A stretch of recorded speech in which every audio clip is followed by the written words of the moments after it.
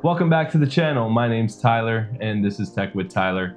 And today I got a video on improving your performance of your gaming PC without spending any extra money.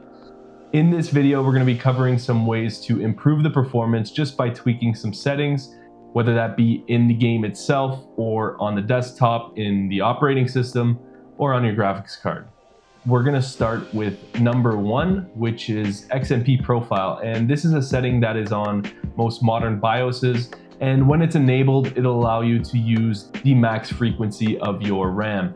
And what this is gonna do is it's gonna make your RAM faster if you have the headroom for it. If your RAM supports over a certain speed, it's gonna be capped out if you do not turn this XMP profile on.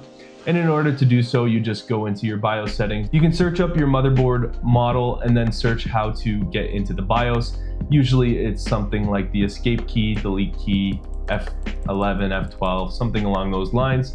And then once you're in the BIOS, you'll just want to find that setting for XMP profile and make sure it's enabled. The next setting to change is in the Windows operating system itself. And that's gonna be ensuring that your high performance is turned on and you don't have any weird power settings disabling the performance of your PC. Another thing we're gonna do is we're going to take a look at our task manager and just make sure that we close any unused apps while we're gaming. Things like Google Chrome, Edge, uh, and other browsers as well will eat up a lot of resources, especially Chrome. So you're gonna wanna make sure you shut those down and this will leave you more resources for your gaming. You would be surprised at the performance boost that you're gonna get if you do not have 32 tabs open in Chrome.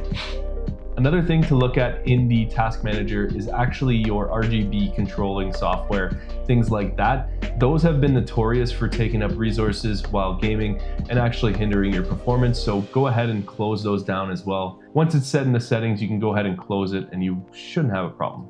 Our next step is to actually update our graphics card drivers. I know it's a simple task, but making sure your graphics card drivers are up to date is going to ensure that when those updates come out for those games, there's no breaking fixes and there's no issues with old graphics card drivers.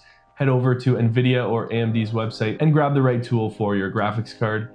If you do not know what specs you have in your computer or what graphics card you have, you can check this video I made about checking what PC parts you have. And if you're like the majority and have a GeForce RTX card or any NVIDIA graphics card, you can check out this video on how to update your graphics card here. Once that's all said and done, you can use something in-game to help boost your FPS. Something that I turn on myself, even with an RTX 3080 Ti, is NVIDIA DLSS. And what this is gonna do is it's going to improve your performance in terms of FPS by rendering a lower resolution, but then upscaling it for your monitor. So if you're using 2K monitor or you're using a 4K monitor, it's highly recommendable to use DLSS because it's going to make the computing power a lot less for rendering that resolution opposed to not using the AI technology to do so. If you have an AMD card, you're going to be using FSR. This is their version of DLSS. Once that's said and done, you can set a max frame rate for your game. So in, in the case of my scenario, I have a 100 hertz monitor.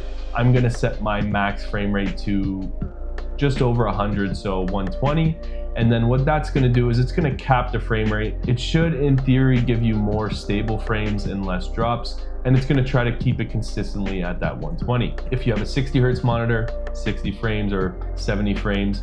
And if you have a 244 hertz monitor, you'll probably want to set it around 250 just to give yourself some headroom as well. So the last tip that I'm going to give is to turn off ray tracing. I know it looks a lot better in game with the ray tracing on, but if your PC is struggling with frames and it still have that on, that would be one of the first things that I turn off in order to get that better frame rate. With all that said, I hope that some of these tips have helped you to increase your performance while gaming and get those frames up. If I did help you bring those frames up, I hope you can leave me a like down below. And also, if you have any questions, as always, just leave them down in the comments section. And I hope you have a great day, and I will see you in the next one.